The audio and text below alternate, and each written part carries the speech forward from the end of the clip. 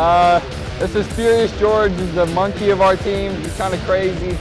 Well, I guess our team's kind of crazy too. We all like to work together and uh, hopefully we can get a win today.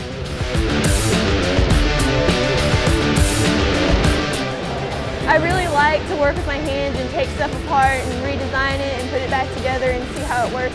We, I think we have a pretty good robot. As long as you're really good at driving it and have a lot of respect for everybody else, in the competition.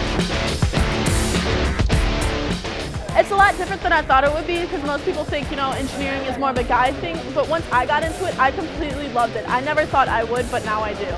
Um, there's not that many girls on the team, so it's really nice to get out there and try and get other girls to join the team too.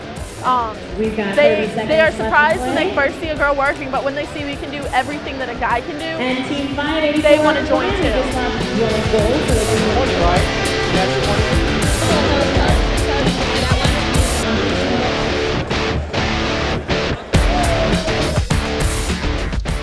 It's just fun. I'm not exactly the most athletic person, so it's a nice sport to go for. And I think it, it teaches you more than any sport can. You've still got the teamwork that a normal sport has, but it makes you think more. It's not necessarily competing against other teams, it's competing with other teams. Gracious professionalism, I love that part of this game. It's not like any other sport where you would go out and try to kill your opponent.